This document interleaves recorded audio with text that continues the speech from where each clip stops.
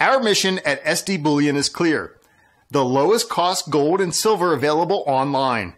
While we do not have pretty blue boxes, free shipping, 4% credit card fees, or glamorous gold and silver infomercials, SD Bullion has the lowest prices that may save you hundreds on your next order.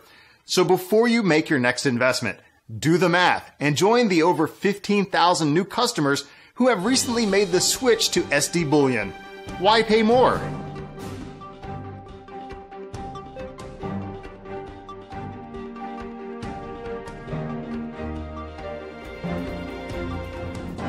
You've said in the past that the U.S. government has reversed its position on the Syrian regime. How will this impact the economic reset? Yeah, um, something happened three or four weeks ago.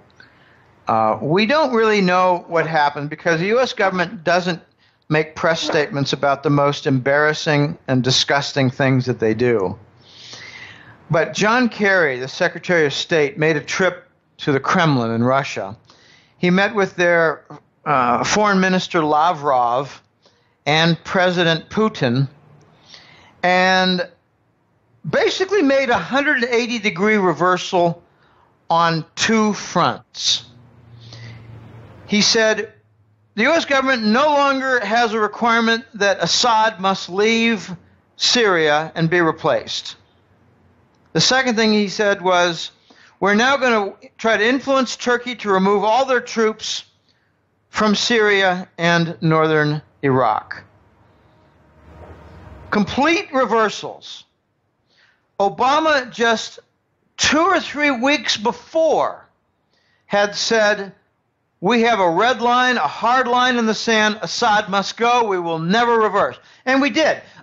Obama looks like an absolute idiot clown on the foreign geopolitical front on the stage. Something very big happened, Eli, and I think it's a combination of things.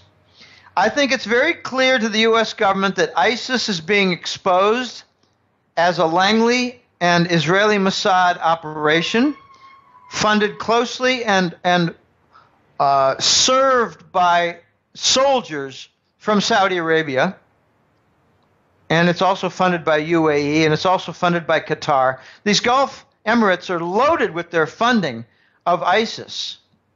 They don't want Iran and its influence to take over in Syria with the pipeline and a whole lot more.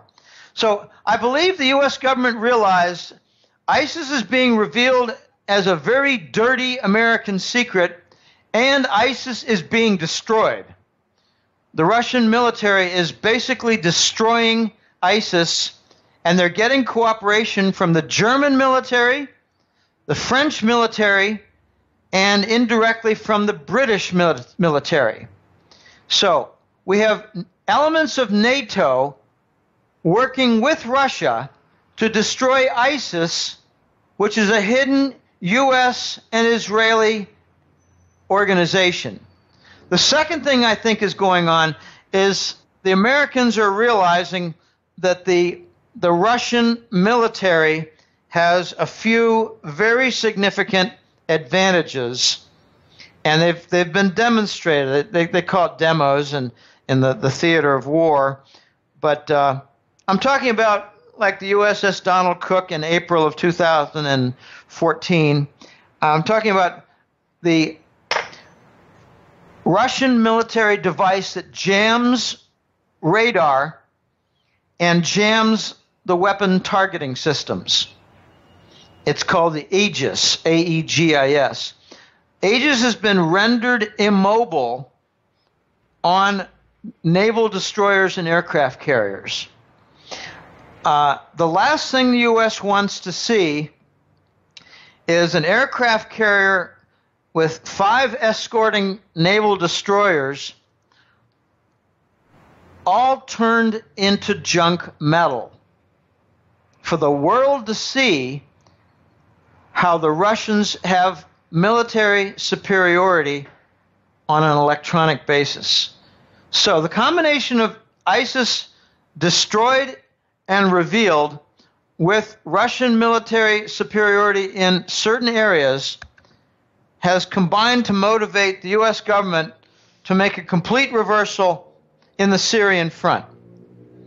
But that doesn't stop Papa Bush from continuing to do what he does best, and that is bomb electrical generating stations and other things to render the Syrian economy and its infrastructure immobile.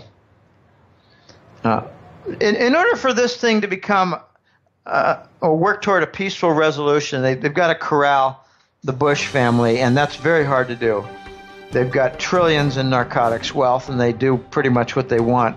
I'd like to see them driven off the planet.